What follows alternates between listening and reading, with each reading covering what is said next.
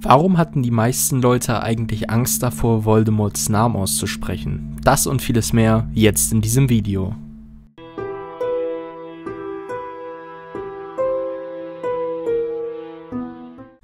In diesem Video werden wir darüber sprechen, warum die Leute Voldemorts Namen nicht laut aussprachen. Was genau passierte, wenn man seinen Namen laut ausspricht?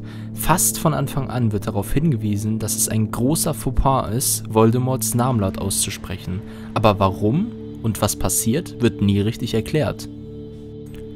Ich meine, ich kann schon irgendwie verstehen, warum die Leute ihn nicht sagen oder hören wollen, wenn man bedenkt, dass er vielleicht der zerstörerischste, dunkle Zauberer aller Zeiten ist und viele Leben ruiniert hat. Aber was genau passiert, wenn du den Namen aussprichst? Wir haben das zum ersten Mal ganz am Anfang in der Serie im Stein der Weisen bemerkt. Die Leute scheinen zu sagen, du weißt schon wer, statt Voldemort. Einige Leute haben die Theorie aufgestellt, dass in der Praxis zu sagen, du weißt schon wer, anstelle von Voldemort, während des ersten Zaubererkrieges begann.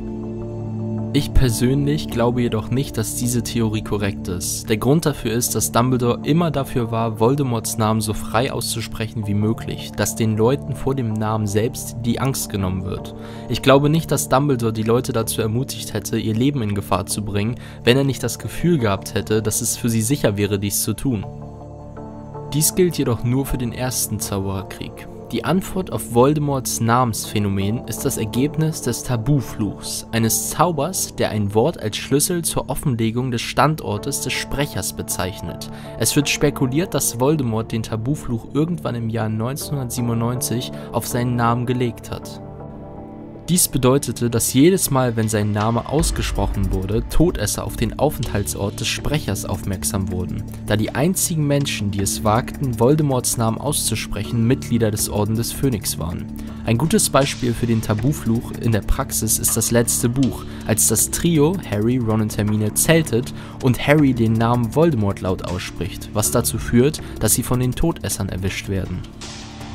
Wenn Harry den Namen von Voldemort also nie ausgesprochen hätte, hätten sie vielleicht nie den letzten Horcrux gefunden und ich denke, sie wären noch eine ganze Weile herumgeirrt. Also hatte es auch etwas Gutes, dass Voldemort den Tabufluch auf seinen Namen gelegt hat.